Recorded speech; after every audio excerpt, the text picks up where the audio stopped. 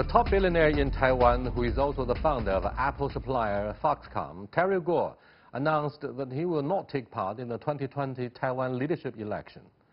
And that decision comes after he quit the KMT party less than a week ago. What has changed his mind to run for the leadership of Taiwan in such a short time? What does his departure mean for the leadership election? What is the political ecology today in Taiwan? To discuss these issues and more, I'm glad to be joined in the Beijing studio by Zhong Houtao, Research Fellow of the Chinese Academy of Social Sciences, and Thomas Wang, PhD candidate for International Studies of Peking University. That's our topic. This is a dialogue. I'm Yang Rui.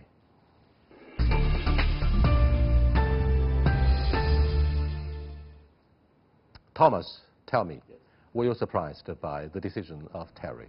No, I'm not surprised because uh, Terry Gou basically look very popular in Taiwan, but as I see in the social media, he, he have not tell us what he want to do after if he run for president. That first thing. Second thing, he really kind of really uh, bothering for the, the United for uh, Kuomintang party and also anti-Chinese campaign. So that's why I believe Sorry, I, I, I, I'm not very surprised about he really quit for the relation because he probably will be realized in the, the day before he announced he doesn't really run for president. So he probably realized about not many people really supporting him, especially the like Wang Jinping, like uh, uh, uh, Kuomintang, 31 Kuomintang's like uh, peoples. So very important. People. So heavyweight uh, politicians from KMT, 31 of them. Uh, openly expressed their oppo opposition yeah. to his candidacy. Um, Hu Tao, what were the reasons that drove him to quit the race? I mean, there must be some deep-rooted reasons, right? Yes, exactly. Just as you said, there are indeed some uh, deep reasons. For example, uh, it is doomed for him to uh, fail if he continues to run for this election, since uh, according to the last experience, no one could win if he uh, resigned. You mean no one from the KMT would be able to win? Not only from KMT, but also from DPP. No one could win without a You mean there wouldn't support. be a clear majority for exactly. neither uh, KMT, KMT, or DPP? Or DPP. That's the reason why he, will, he would be doomed to fail. Since he is a businessman, if he invests a lot but there is no reward, then it's not a good deal. So if he knows he will fail, then why he would have a try? Obviously, he's not a good student of Donald Trump, who wrote the book, uh, The Art of Deal. so he's totally uh, different from uh, Donald Trump. Donald Trump gets support from the Democrat, uh, Republican Party, but uh, Terry Gou uh, will not get support from KMT, so they are totally different. There are some similarities, I'm afraid, between the U.S. economy and the poor economic performance of Taiwan. Mm -hmm. And therefore, in my estimation, Terry should have good reasons to benefit from those who feel desperate, yes. who feel quite disappointed with the uh, lackluster performance of the Taiwan economy since Madam Tsai Ing-wen took office uh, uh, uh, three years ago. So why do you think this billionaire who might have appealed to the mind and heart of those who want the economy to be to get better? Um, as I know, like uh, he really a kind of rational person, like uh, for the for the Taiwan's election. Like uh, if he really continue to run for election, like uh, that will be really really destroy the, the government like KMT's like uh, the the election like uh, situation. So what happened is like uh, as I know, it's like uh, in Taiwan the people really honestly Taiwanese people really don't think about Terry Gou run for president as the uh, is improve economy because everybody knows that the key point is the relation in between the cross strait to to getting getting the e economics for the for the for the Taiwan's uh, situation right now. But if Terry Terry Gou run for president, it destroy the the situation for the Kuomintang, even the Han Kuo-yu or like uh, Guo Taiming, Taiwan's economy maybe if if if Taiwan still run run for president, the then like uh, the, the, the the situation will be getting worse. So that's when the people in Taiwan really really not think of like uh, the billionaire run for president means improve improve the economy, and also Terry Gou himself for himself he also have a really uh, some history really make a Taiwanese people think about he's not really, so that's why, yeah. Well, I'm, I'm not so sure about his track record as a Yeah. billionaire, uh, someone who should have uh, uh, pleased both sides across Taiwan Yeah. Strait because he has the business stakes in the mainland. Yeah. Having said this, what do you think of his short statement uh, uh, for giving up the election? Do you trust uh, Terry for what he says in the short statement?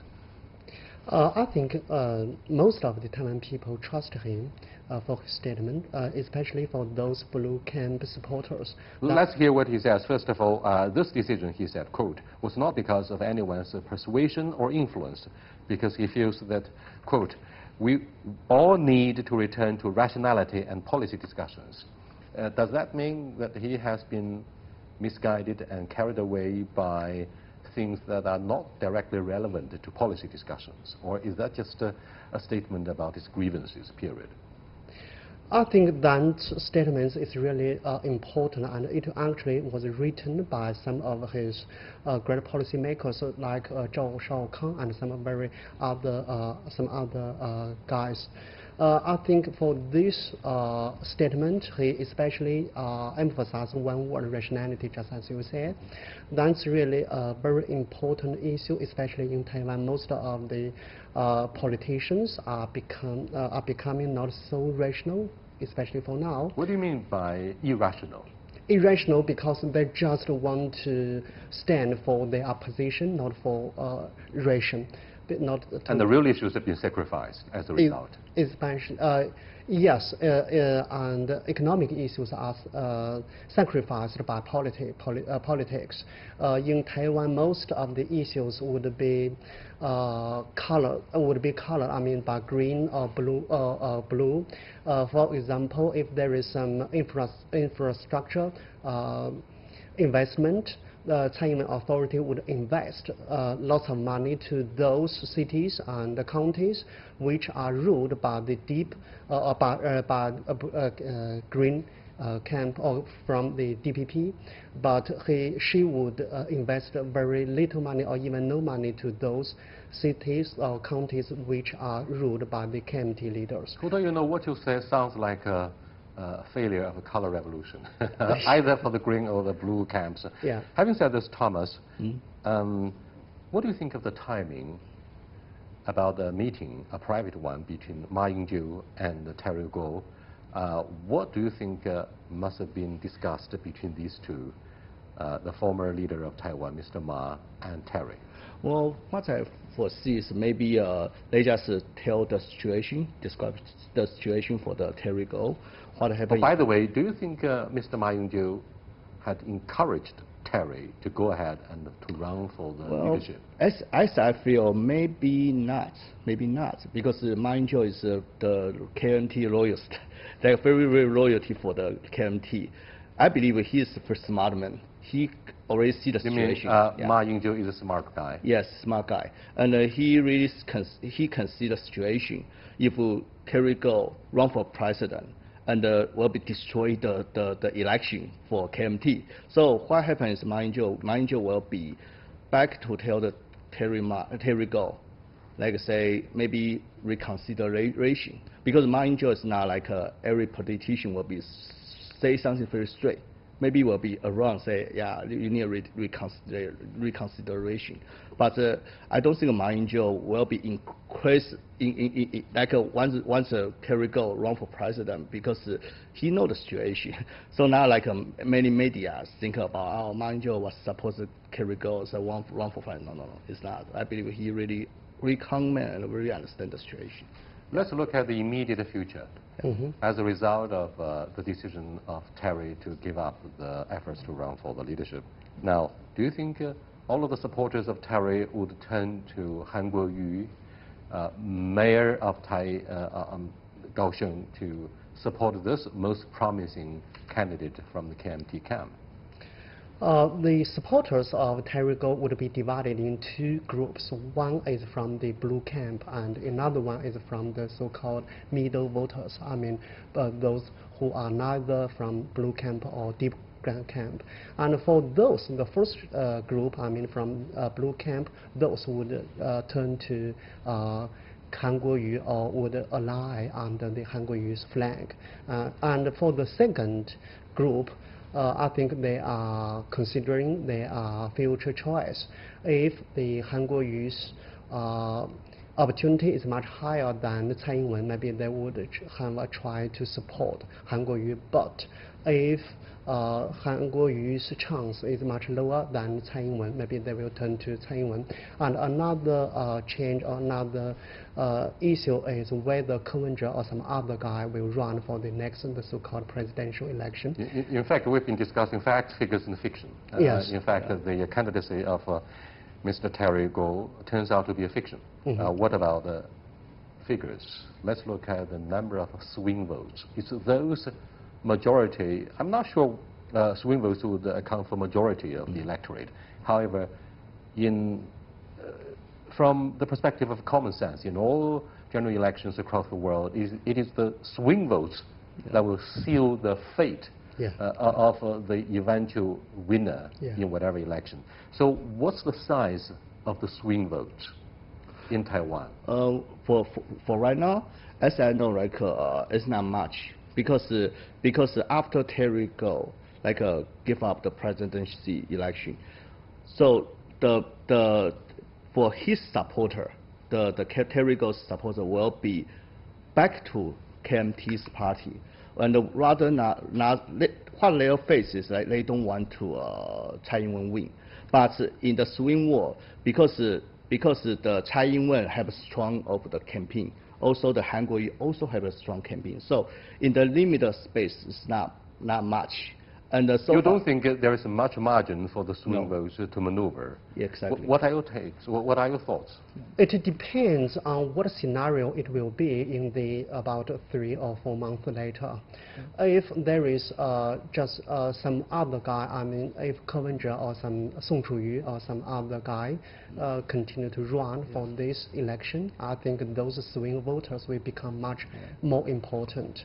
Uh, but if there are only two candidates, one is from KMT and one is from DPP, I think those, the so-called swing voters will uh, stand on the one side. They have no other choice. They have to stand with either KMT or DPP. So it depends on whether some other uh, candidates will run for the election. Okay, let's take a closer look at who are left. Mm -hmm. um, I mean, those uh, serious candidates from the two camps, blue and yes. green. Tsai Ing-wen is the current leader of Taiwan. Yeah. Is she quietly very, very happy about the decision that Terry Gou made to give up the election? I think yes, and for Tsai Ing-wen, she is very happy for this result. Since if uh, Terry continued to run for this election, then the blue camp would be divided. Just as the uh, former UK Prime Minister Churchill said, uh, united we stand, divided we fall. If Terry Gou uh, runs for the election, then the KMT would be divided, then, and that would be a great disaster for KMT. And that would, of course, would be a good news for uh, Tsai Ing-wen and for DPP. However, now uh, Terry changed his mind and the, there is a very good chance for the KMT to be united again and become much very stronger for DPP. So I think that's really a bad news for Tsai Ing-wen. He, She would become much harder to win the next election. Probably Hu Tao and Thomas, it's too okay. early for Madam Tsai Ing-wen to enjoy the good news about the absence and departure of uh, Terry Gou from the election. For example, after yeah. dismissing Lai Ching-te from DPP, mm. she faces yet another immediate challenge from Anna Lü, uh, former vice you know, president, yeah. quote unquote, of uh, the Chen Shui-bian administration. She decided to challenge the leadership of, uh, you know, um, uh, Tsai Ing-wen. Of course, Anna uh, was an old guy an mm. old woman, old politician, out of date. Mm. But she might still enjoy some support from the DPP, right? Well, what I see is like uh, I, I, have different view with uh, Hu Tao. That's uh, because I believe uh, right now KMT already been united. Already, it's not not have a chance to be divided because uh, because me, uh, uh, you mean KMT is already very divided? Uh, very, no, no, very united. united, the other united, way around. United, very united. Because uh, what I see is like the the supporter for the for the Terry Gou, mostly what main goal to supporting for Terry Gou. They want to get the Tsai Ing-wen run down the, the, the seats. So what happens is if Terry Gou don't want to run, those person won't be like those supporters won't be have a chance want to to go into Tsai Ing-wen or, or go into other place because they already they knows about if I supporting the other people, then what happens is like a Tsai Ing-wen win and the and the anti anti Ing-wen's campaigns lose. So what happens is like uh, they will be back to the to the supporting for Kuomintang. But uh, one interesting question is we not only see the president's seats, we also need to see the, the legislation member because the, I, as I know, it's like a lot of uh, Han Kuo-yu supporter, they not only support the KMT, they think about maybe we give some chance for the new party, Xindang, and uh, also give, give other people who coming says supporting the like uh, want to against Tsai Ing-wen, or, or, or want to supporting for the unification or good relation for the cross-strait. So why I don't think Tsai Ing-wen really ha happy too early, and I believe what I believe Tsai Ing-wen is not is is not that's really thinking of will be happy.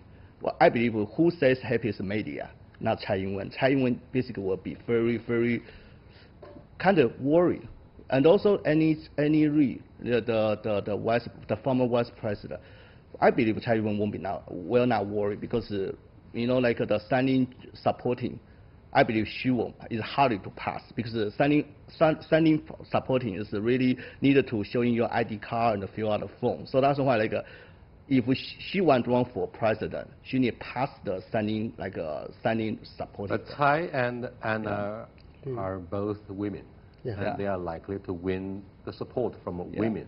I don't know the number and the size of Yeah. the women population in Taiwan.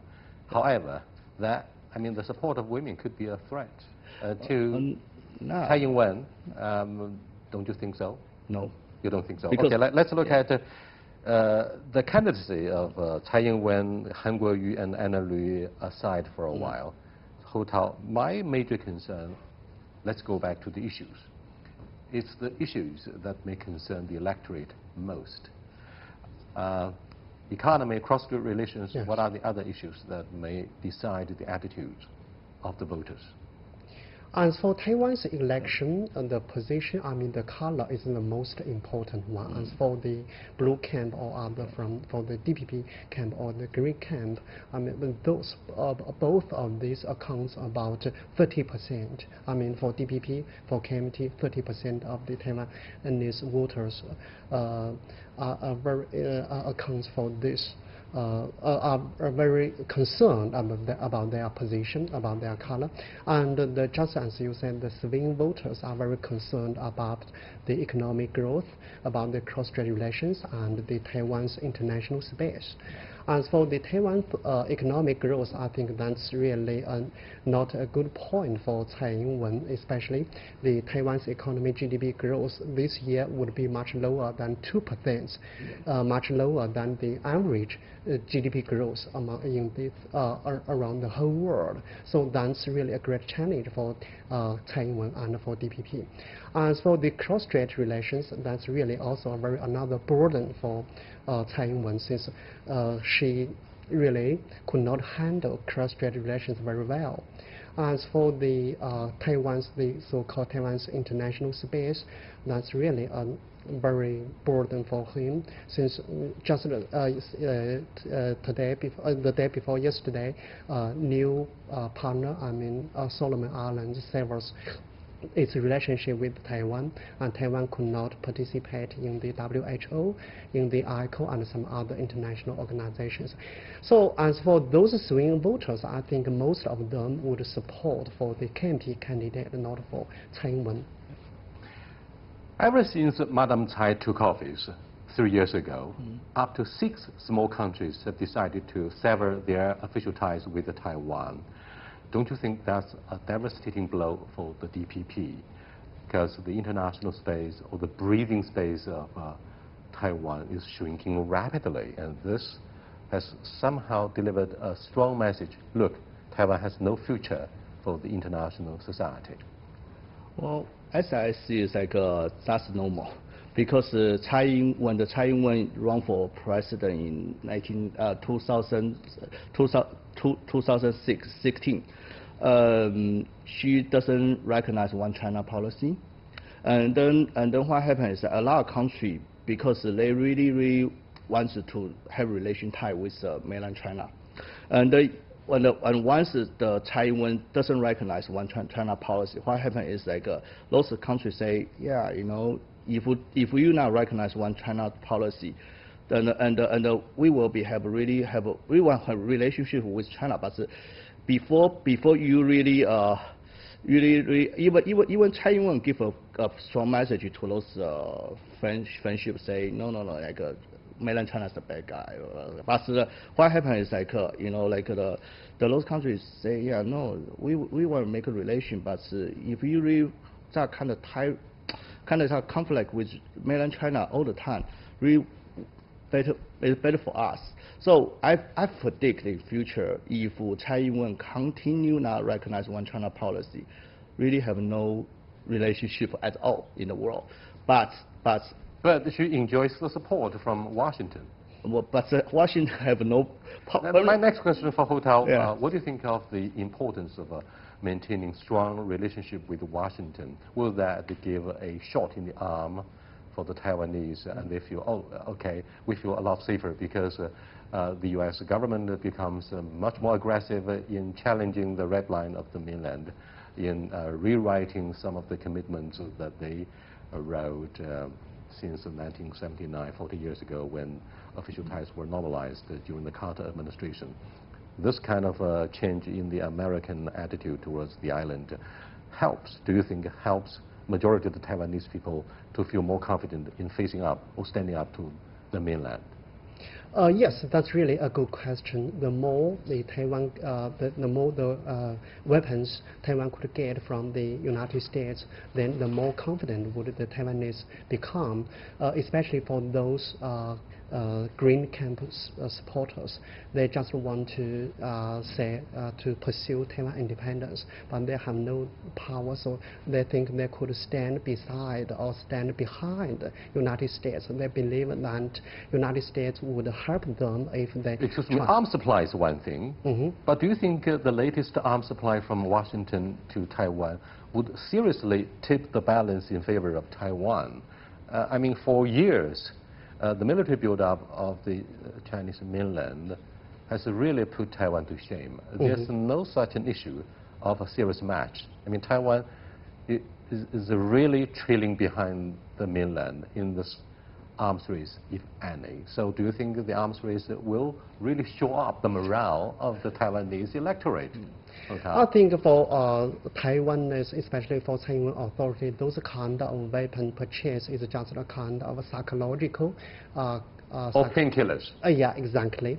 Uh, but that could not change the imbalance between the two sides since the Chinese mainland's power, our army, is become much more stronger than ever before and much stronger, uh, more stronger than Taiwan side. For example, for the Air Force, we have our uh, some new aircrafts and we have our new uh, machines. So that we could do whatever around Taiwan. We could show our hands, we could show our power, show our uh, strength. But Taiwan's uh, those uh, the jet fighters, for example, the F-16AB, they just got them uh, in the about 20 years ago. So they are uh, the older generation. So they could not compete with the, the Chinese mainland. As for the Navy, we have our aircraft carrier, we have our submarines, but the uh, Taiwan side have no such kinds of weapons. So the two sides are totally unbalanced. As for Taiwan and for Taiwan, the, what, uh, the reason they just want to purchase some weapons is just to get some psychological uh, confidence or something like that. Well, let's go back to the candidacy of the election. Now, aside from Terry Gou, Thomas, the mayor mm -hmm. of Taipei also gave up in the campaign for Taiwan's leadership. How will this withdrawal affect the chances of other candidates? Well, there's, uh, I believe, a big shock, big, big effect for that. Because the uh, mayor of Taipei was thinking about if Terry Gou run for president, so his new, part, his new party called People's Party will be supporting Terry Gou for run for the president. But right now, but in the People's Party, or are you talking People's about People's Party, First Party? 民众党。People's, yeah. Okay. People's Party. So that's a new party. The new party, yes. TMD. TMD, yeah, TMD, TMD, yeah, yeah, okay. TMD, and yeah, it's kind of yeah. But the, the thing is like uh, right now the Terry Gou is now right for president. The the mayor of Taipei, Ke Wen-je, maybe will be reconsider what happened right now, what they're going to do. I have read the latest news like uh, just a couple minutes ago, like uh, he really have a supporter, really help him to drop the the sign signature re- registration for the for the like uh, office day before deadline today, uh, after deadline today. But unfortunately, it's not get in. So that's why like uh, in the future, I believe uh, Ke Wen-je probably will be two way. One is join the Song Chu-yu because Song Chu-yu had the right to to to give public We all understand Yeah, that James so- has no future. Yeah, Uh, yeah, yeah, is but- uh, highly yeah. optimistic uh, from our observation. But the Hotel, uh, what do you think of Hong Kong? Now, Yeah. the sagging confidence of electorate in Taiwan was not quite in favor of Tsai Ing-wen for quite a while until the outbreak of uh, violence and anger of young people in Hong Kong. Yes. Do you think uh, the DPP benefited a lot from uh, the political unrest in Hong Kong and the morale has been shot up as a result? And at the beginning, Tsai Ing-wen and uh, DPP indeed benefit a lot from the uh, Hong Kong riots for this uh, storm. Uh, since uh, the Tsai Ing-wen is blaming the uh, so-called, uh, the blaming one country and two systems by this issue. So uh, in this way, Tsai Ing-wen's uh, supporting route indeed is a little bit increasing. Approval rating rose a little bit as a little bit. result of the so-called setbacks in the execution of one country, two systems in Exactly. Hong Kong. Yes, but I think this issue would uh, will face the so-called uh, diminishing or decreasing marginal effect. I mean, uh, uh, more and more Taiwan people would real will realize the fact uh, that the those Hong Kong people are just riots, and some of them are even terrorists. They are not. Uh, uh, they are not defending Hong Kong, or they are actually they are offending Hong Kong. They are, uh, they are they are not protecting Hong Kong. So- So I think those Taiwan people will realize they are true face.